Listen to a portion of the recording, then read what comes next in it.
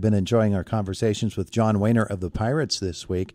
And uh, we get to talk with him again today about, well, a lot of things going on in spring training. But man, John, was that not fun yesterday watching those Pirates young prospect pitchers in, in the breakout game?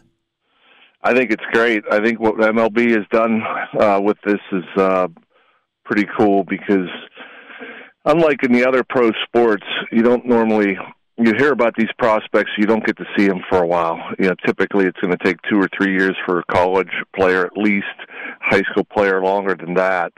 And um, you know, you hear all the names, but you want to see them. That's one of my favorite things in spring training is is seeing the young players and to be able to put them on national TV. And you know, you have two of the top organizations in terms of prospects going at it with the Orioles and the Pirates, and you know Jackson Holliday, the number one overall prospect, and Paul Skenes, who's like I think number three.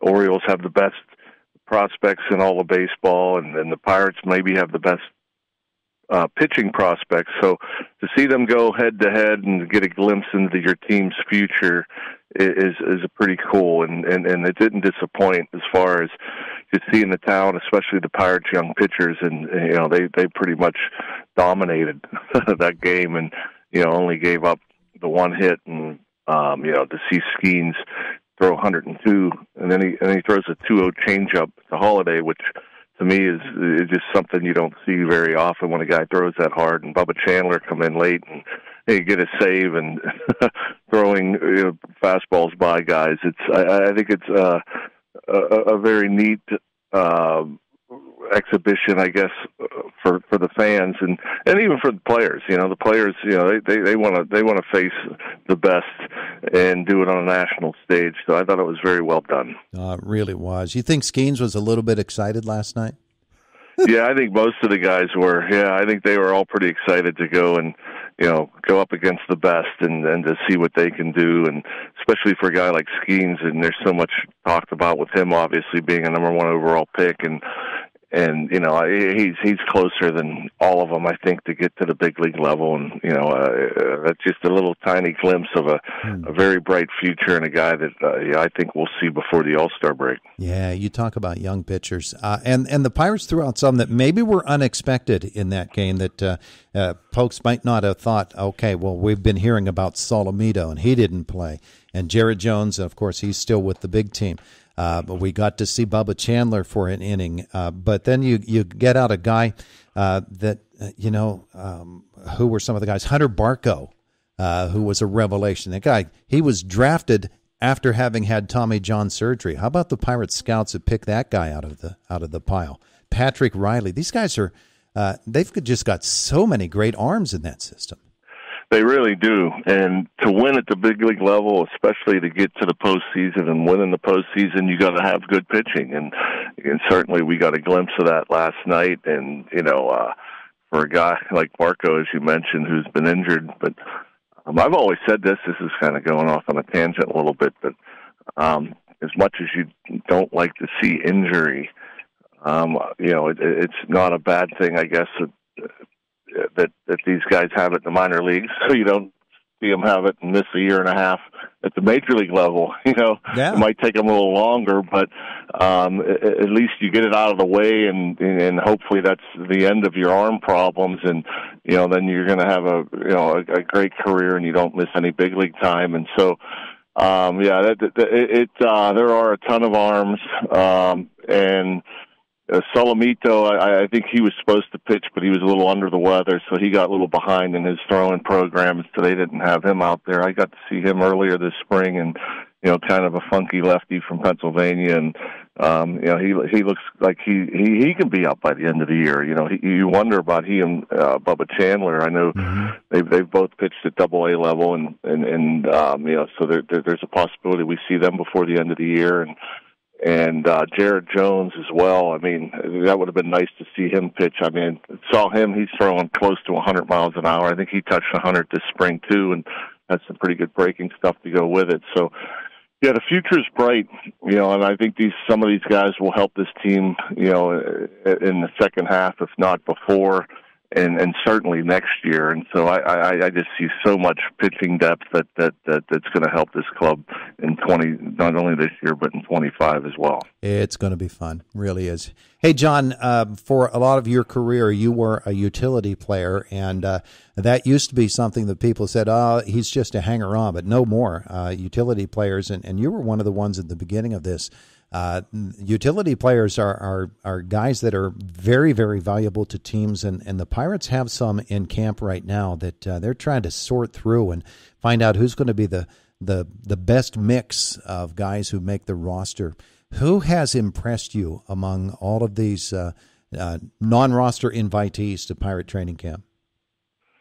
Well, Jared Triolo, I don't know if he'll end up being in that kind of role or not. I mean, he came up as a, a Gold Glove minor league third baseman who uh, has proven that he can play anywhere in the infield and probably if you throw him in the outfield. But he may end up being an everyday second baseman the way he's played this spring. I think he has a leg up uh, as far as that's concerned, and so um, you know, uh, Billy McKinney, who's a non-roster guy, has really opened eyes. I think he's reached reached base now 13 straight games, and he can play all three outfield spots and play first base as well. But uh, the utility players is is a, is a much more uh, valuable thing now, I think, than ever because they carry so many pitchers. Teams carry 13 pitchers. You got a designated hitter, and so your bench, you figure you have a backup catcher, and then you have three or four more guys, and so if you can move around and uh, play multiple positions, you're going to add value to the club because if somebody's banged up, you know, or you have a couple of guys banged up that you don't want to put on the injured list, then you you can move a couple of guys in, in a couple of different positions. So I think it, it's a very important role. Um, you know, it'll be interesting to see who's you know, kind of the utility knife as far as moving around the infield. Like, who will be your backup shortstop if Cruz needs a day off? Will that be Triolo, or will they have a guy like Alika Williams who can play everywhere? Very good defensive um, middle infielder.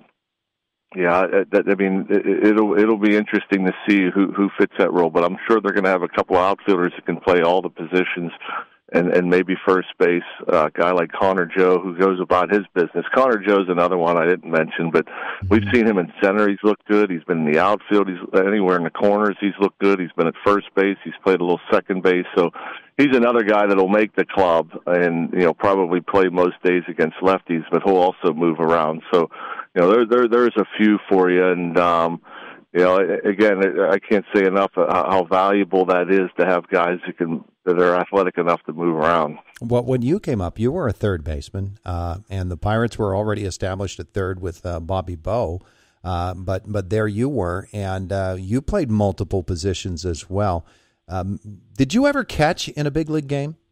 I did. I think I have like three games, maybe four innings or so uh, behind the plate, and I owe a lot of that to Jim Leyland. I mean, my first year I was only a third baseman, and then my second year he said, "Hey, I want to look at you at first and second. So I, I I went back to the minors and played a little first and second. Then next year he says, "Well, you, know, you think you can play outfield?" And I'm like, "Sure." So he threw me out in center field for a while, and then a couple of years after that, he's like, "Hey, uh, you know, we could use an emergency catcher. You want to try that?" So I'm like, "Sure." So they sent me down uh, actually here to Bradenton, and I, caught you know a, a dozen or so games, and so that was in my toolbox too. So I, I loved it. I loved moving around. That uh, it was it was fun playing a lot of different positions, and so um, you know, kind of you know didn't didn't start with that type of thing till you know I was probably in my mid twenties, but um, I loved it. It kept me around a lot longer, and I have Jim Leyland to thank for that. I was just picturing uh, you taking your first major league pitches as a catcher, and, and Wakefield being on the mound.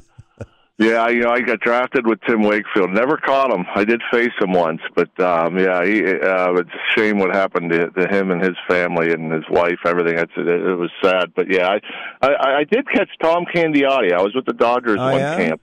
Yeah, so that was kind of fun. Yeah, I got to catch him in just in a you know just in uh, a side session, not in the game, but uh yeah, I I got to catch some pretty pretty cool pitchers over the years.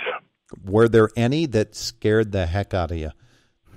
Oh, there was some guys. Uh, there was a couple lefties. You know, it's weird, but the, the guy wasn't even a hard thrower. Scott Sauerbeck only threw like 90 miles an hour, but mm-hmm. his ball moved like crazy, and he used to break my thumbs.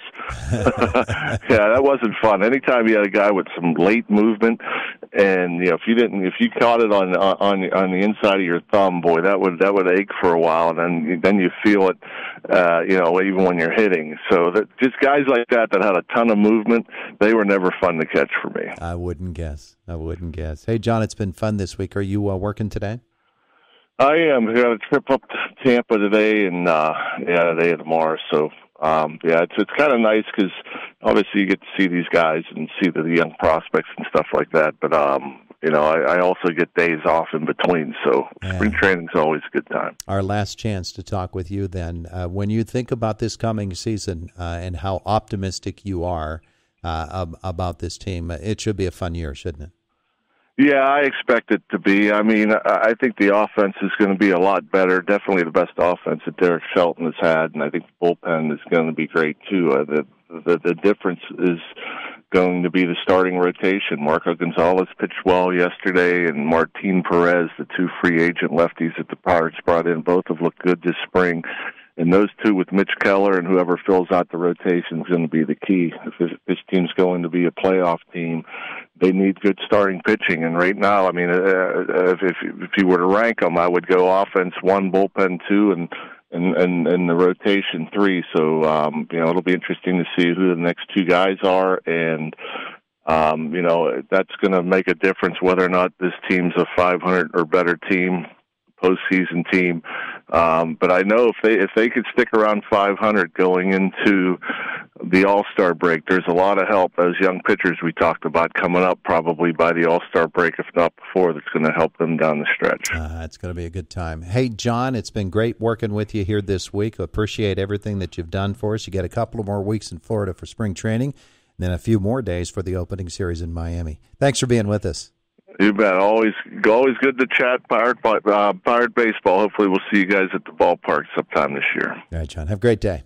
You too. Bye bye. John Wehner with us this morning from the Pirates, and our conversation with him brought to you by ANA Construction and by Delaney and Fritz PC.